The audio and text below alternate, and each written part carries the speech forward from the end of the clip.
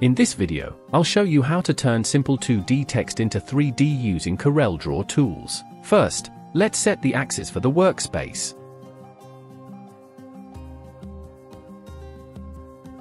Most of the time, we rotate X and Y by 30 degrees.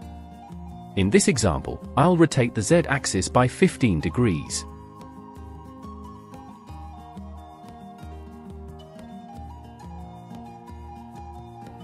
Next, draw a rectangle around the text.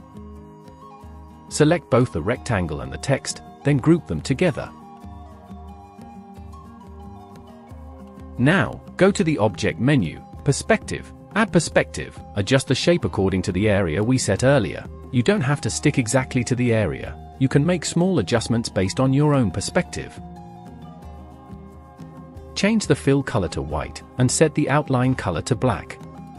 Now, make copies of the shape along the x-axis for this example. I need two copies of the shape.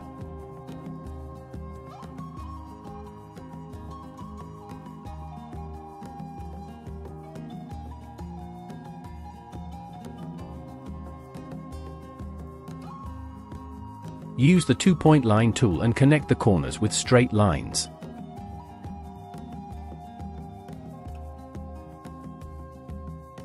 Use the Virtual Segment Delete tool to remove all the unwanted lines.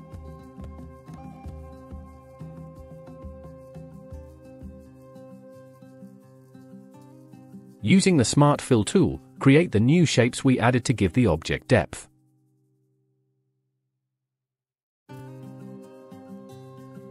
Use any colors you like.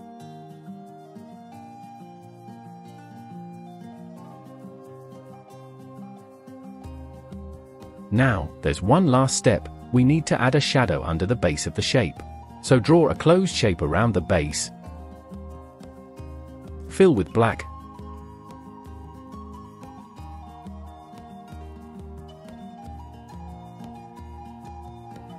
Go to Effect Blur Gaussian Blur and apply some blur. Finally, press Shift plus page down to send it under the object. And that's it! If you enjoyed this video, don't forget to subscribe to the channel to learn more new tips and tricks.